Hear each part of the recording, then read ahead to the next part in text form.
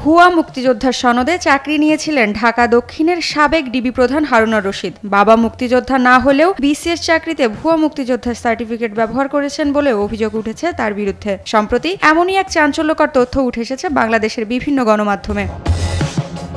দুই হাজার এগারো সালের জুলাইয়ে জাতীয় সংসদের সামনে এক মিছিলে তৎকালীন বিরোধী দলীয় চিফ হুইপ জয়নাল আবেদিন ফারুককে মারধর করে প্রথম আলোচনায় আসেন সাবেক এইডিবি প্রধান।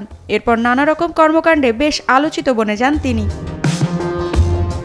ঢাকার দক্ষিণে গোয়েন্দা পুলিশের কার্যালয়ে মানুষকে তুলে নিয়ে গিয়ে ভাত খাইয়ে ভিডিও ছেড়ে দেওয়া বিরোধী দলের প্রতিটি আন্দোলনে বিএনপির প্রধান কার্যালয়ে বোমা ও বাঁশের লাঠিসাটা উদ্ধার, প্রতিদিনই সাংবাদিকদের একাধিক ব্রিফিং করা, তারকাদের সাথে ফটো সেশন, যাকে তাকে ডিবিতে তুলে নিয়ে আসা, হেফাজতে ইসলামের ওপর নির্যাতন, আপত্তিকর ভিডিও ছড়িয়ে দেওয়ার ভয় দেখিয়ে, টাকা আদায় সহ এমন নানান নেতিবাচক কাজে দেশজুড়ে ব্যাপক সমালোচিত হন হারুনুর রশিদ।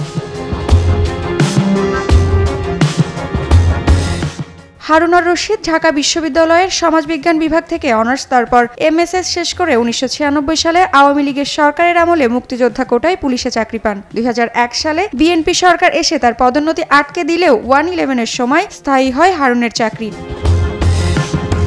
স্থানীয়রা জানান, সাবেক ডিবি প্রধান হারুনা রশিদের বাবা প্রয়াত আবুল হাসেম কিশোরগঞ্জের ঘাগড়া বাজারে চালের ব্যবসা করতেন।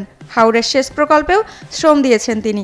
এ সময় আরও জানা যায়, হারুনের বাবা মুক্তিযুদ্ধে অংশ নেননি। বরং তার বাবার চাচা ইদ্রিস ওরফে ইদুমোল্লা ছিলেন সে সময়ের কুখ্যাত রাজাকার। এদিকে গাজীপুর ও নারায়ণগঞ্জের এসপি থাকাকালীন সময়ে হারুন তার পরিবারের সদস্যদের মাধ্যমে বাড়ির আশেপাশের জমি কিনতে শুরু করেন। নামে বেনামে তার কমপক্ষে একশো একর জমি রয়েছে বলে জানান স্থানীয়রা। অষ্টগ্রাম উপজেলা পরিষদের সাবেক ভারপ্রাপ্ত চেয়ারম্যান মোস্তাক আহমেদ কমল অভিযোগ করেন, প্রেসিডেন্ট রিসোর্টের পশ্চিম পাশে তার ছয় একরের একটি পুকুর দখল করে মাছ চাষ করছেন হারুন। এ নিয়ে প্রতিবাদ করলে তাকে নানাভাবে হুমকি দেওয়া হয়েছে বলেও জানান তিনি। এ সময় হারুনের দখলকৃত জমি জমার দলিলপত্র এবং নকশা দাগ খতিয়ান চিহ্নিত করে কমল আরও জানান, তার খাদের চারপাশে আরও আঠারো উনিশ একর জমি হারুনের কবজায় রয়েছে। তিনি বলেন, হারুনের বাঁধের ভেতর পড়েছে তার প্রায় আরও সাত একর জমি। বায়না দলিল সূত্রে পাওয়া, তার বারো একর জমিও দখল করে নিয়েছে হারুন।